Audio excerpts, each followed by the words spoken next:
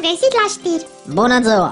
Astăzi, Comisia Extraordinară de Evaluare din cadrul Institutului de Cercetări Politice din Capitală a hotărât să recurgă la programul Barter 2006, care prevede mutarea politicienilor din România în vacanță și aducerea în țara politicienilor, miniștrilor și analiștilor din Elveția și Austria, pentru a înlocui pe ai noștri demnitari incompetenți. Mihai?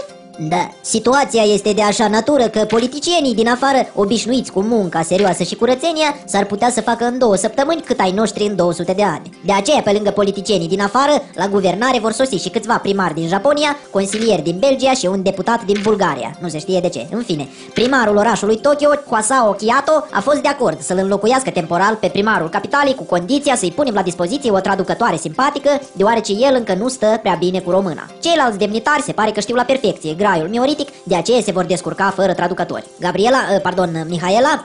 Da, doamnelor și domnilor, în sfârșit România va avea o șansă să iasă din cercul vicios în care se află, deoarece demnitarii din țările civilizate s-au oferit să preia conducerea pentru un an. În locul președintelui nostru va sosi președintele Olandei, iar în locul prim-ministrului va binevoi să sosească prim-ministrul Suediei. În așa fel, România va reuși în cel mult două săptămâni să ajungă la standardele Japoniei și ale altor țări, deoarece acestea vor stagna un pic în lipsa politicienilor săi.